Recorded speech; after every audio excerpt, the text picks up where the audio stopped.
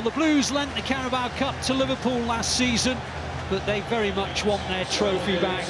And after knocking out both of last year's finalists, they've now travelled to Southampton to continue their pursuit of what will be a fifth League Cup in six years.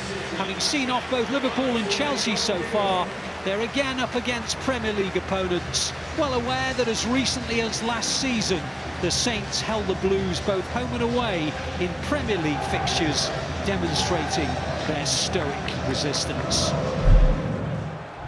The moment watching Southampton in possession of the ball, but they're in their own half.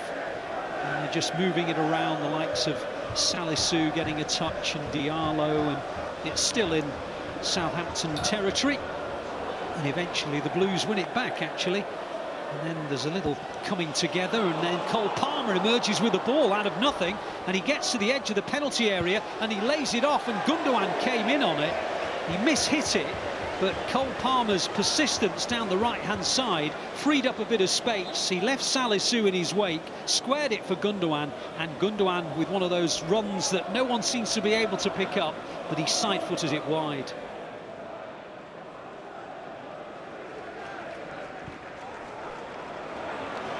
City have got some defending to do and Southampton are coming down the right-hand side and the pressure is on the Blues here. Then there's a really good sliding challenge by Aymeric Laporte that concedes Southampton's first corner of the match. And I'm not sure Laporte's not very pleased with the fact that he had to make that last-ditch challenge. So the first corner they've had to defend, it's gone short from Ward-Prowse and now the cross comes in, second ball City deal with through Kalvin Phillips. It's not cleared particularly successfully. It's all bobbling around the edge of the City penalty area. And then there's a shot. It was a sort of half-hit shot, really, without too much power by Chayeta Sarr. But it went wide via a little thing, fingertip from the outstretched fingers of Ortega goes to Ward-Prowse, who pops a long ball forward. City looking for an offside flag. There isn't one forthcoming. And then the shot goes over the bar from Sekou Mara. Well, City were looking for an offside. It didn't come. And he took it down on the thigh, span and hit it first time. But it flew over the bar. And again, another warning for the Blues. Now it's in the possession of Ward-Prowse, who clips a ball into the area area, but it's headed away by Ortega, and then it reaches Ward-Prowse. And Southampton have given it away, though. And City can come forward, maybe on the counter, but they've given the ball away. Sergio Gomez, not a great pass, you have to be honest and say. And now the shot comes in, and it's in the back of the City net. And Sekou Mara has given the Saints the lead. Well, you can't say it's against the run of play, and you can't say that the warnings weren't evident. And all of a sudden, City's domination, or so they hoped, has all been turned around dramatically because Lyanco stepped in. He slipped it through the gap, and Mara's put it into the back of the City net. Lyanco does very, very well. Steps forward, then he delivers a really early pass. Sekou Mara just comes across the line, sweeps the ball near post, right into the, the near post. And at that point, Ortega in the City net, no chance. Fabulous ball, great finish, but it was City's mistakes. Now Southampton have broken City down again, and they've scored again. It's 2-0. Djenepo has just floated in a ball from about 30 metres. It's drifted over the top of the head of Ortega, and Southampton lead by two goals to nil. Well, again, City have been caught out. Again, Southampton have turned defending into attack. And again, there is a lovely finish, this time from Djenepo. And City, who were in the ascendancy going forward, they lose the ball. And just moments later, Djenepo sees Ortega off his line and clips it over the top of him. Again, City not at the best and he'd be very, very disappointed. Ortega with his position, just little look up, and the execution over the top of Ortega is fantastic. But the goalkeeper's starting position is really disappointing at this level.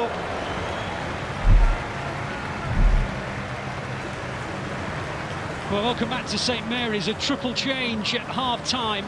Gomez, Palmer and Walker have gone off. Akanji, Ake and De Bruyne have come on, so proactive to say the very least.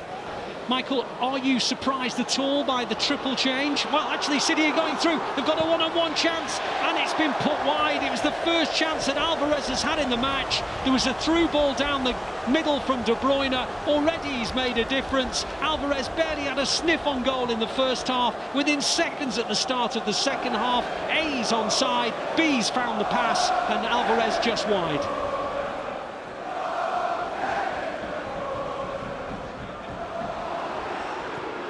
Southampton trying to build, but City win it back through Gundogan.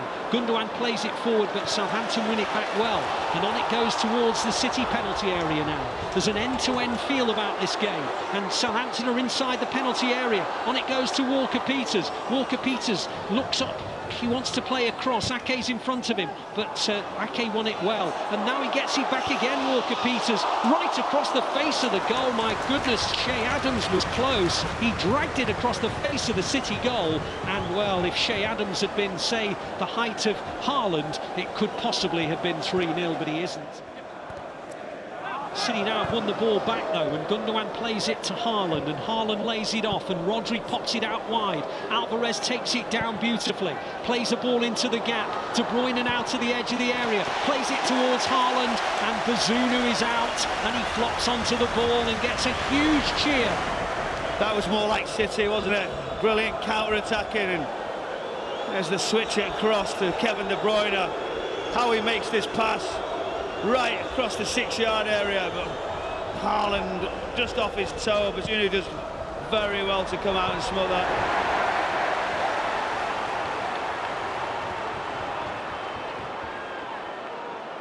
Southampton in possession, and now Southampton coming forward, and City are now backpedaling and the ball is on the edge of the penalty area. Walker Peters wide on this right-hand side. Into the penalty area goes Walker Peters. Comes inside. The shot comes in. It cannons off a player. The flag goes up. Che Adams puts it in. It doesn't matter. He was about a metre offside. But uh, again, another scare for the Blues. It was a scare, but Elyounoussi does incredible down that left-hand side. Rodri chasing him, João Cancelo. He tries to nick it, and that's the difference. He got the space to go in behind City and then that to be on the back foot. But yes, he was offside. City keep coming, but that's the type of counter-attack they've got to be careful with. Yep. 13 minutes to go. Foden on the edge of the penalty area. Still holds up plays it to Gundogan. Gundogan slips by a couple of challenges, goes for the return ball. Gundogan in the penalty area, and the ball is almost turned into his own net by Salisu, but Bazunu stretched out his body and got onto the ball right on the line. Great run from Gundogan. Ball into the box was dangerous, and it came off Alvarez and then Salisu, and then it was pounced upon by Bazunu, and it stays at 2-0.